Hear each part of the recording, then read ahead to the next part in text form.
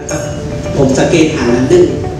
ละครของลี่อะไรต่างๆให้กับพี่น้องชาวเชียงใหม่วิทยากรสัมมนาเรื่องการจัดการเรียนการสอน Which year should I call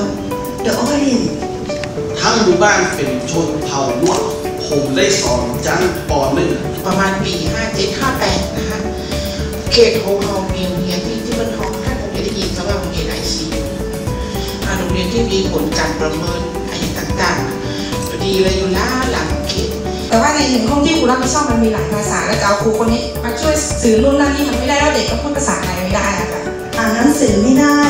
เขียนไม่ได้ ไม่กล้าแสดงออก แต่ตอนนี้ได้เรียน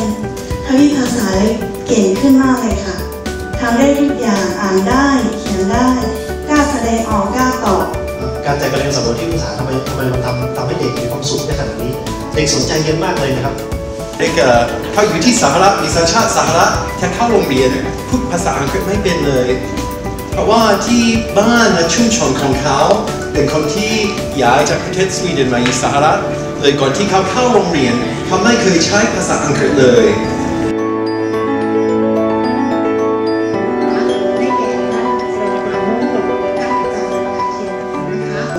H W H O L E Home Home Language หมายถึงว่าการเรียนภาษาทั้งหมด ไม่ได้เรียนแยกส่วนนะคะเราก็จะได้ความหมายก็คือว่าเวลาเด็กเห็นคำปุ๊บเด็กจะตามทั้งคำนะคะคำแล้วก็เป็นเรื่องจริงนะคะทั้งหมดแต่รูปแบบวิธีการจะเป็นอีกแบบหนึ่งนี่เดี๋ยวเอาห่วงโครงการของทวิภาษา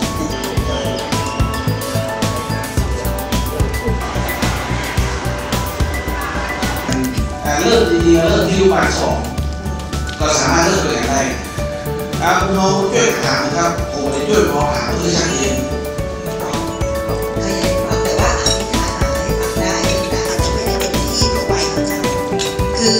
สี่คนคะเขาก็จะตอบนะสองสามคนไส้เดือนไส้ไส้เดือนแล้วก็ไส้ไส้เดือนไส้ไส้เดือนแล้วก็ไส้ไส้เดือน